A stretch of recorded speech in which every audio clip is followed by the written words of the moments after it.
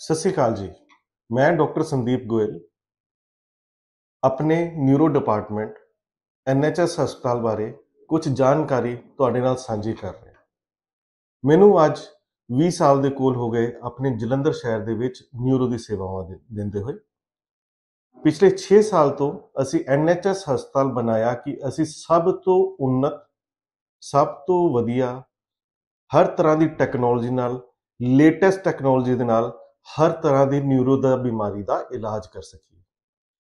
ਅਸੀਂ ਕਈ ਬਿਮਾਰੀਆਂ, ਜੇ ਕੋਈ ਨਿਊਰੋ ਦੇ ਨਾਲ ਇੱਕਦਮ ਹੀ ਸੰਬੰਧਿਤ ਆ, ਜਿੱਦਾਂ ਕਿ ਅਧਰੰਗ ਦਾ ਅਟੈਕ ਹੋਣਾ, ਮਿਰਗੀ ਹੋਣਾ, ਸਿਰ ਦਰਦ, ਹੋਰ ਕੋਈ ਲੱਤਾਂ ਬਾਹਾਂ ਰੁਕ ਜਾਣੀਆਂ, ਕਮਜ਼ੋਰੀ ਆ ਜਾਣੀ, ਸੋ ਇਹ ਸਾਰੀ ਬਿਮਾਰੀਆਂ ਦਾ ਹਰ ਤਰ੍ਹਾਂ ਦਾ ਇਲਾਜ ਲੇਟੈਸਟ ਟੈਕਨੀਕ ਨਾਲ ਕਰ ਰਹੇ ਹਾਂ।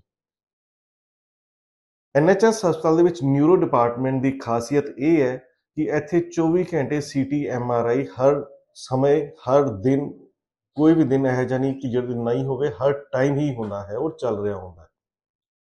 ਸੋ ਅਧਰੰਗ ਦੇ ਇਲਾਜ ਦੇ ਵਿੱਚ ਅਸੀਂ ਸਭ ਤੋਂ ਤੇਜ਼, ਸਭ ਤੋਂ ਟਾਈਮ ਤੇ ਔਰ ਸਹੀ ਇਲਾਜ ਕਰ ਪਾਉਂਦੇ ਹਾਂ, ਕਿਉਂਕਿ ਮਰੀਜ਼ ਦੇ ਹਸਪਤਾਲ ਦੇ ਆਉਣ ਦੇ ਵਿੱਚ ਤੇ ਮਰੀਜ਼ ਨੂੰ ਸਮੇਂ ਦੇ ਨਾਲ ਟੀਕਾ ਲੱਗਣ 'ਚ ਟਾਈਮ ਵੇਸਟ ਨਹੀਂ ਹੁੰਦਾ।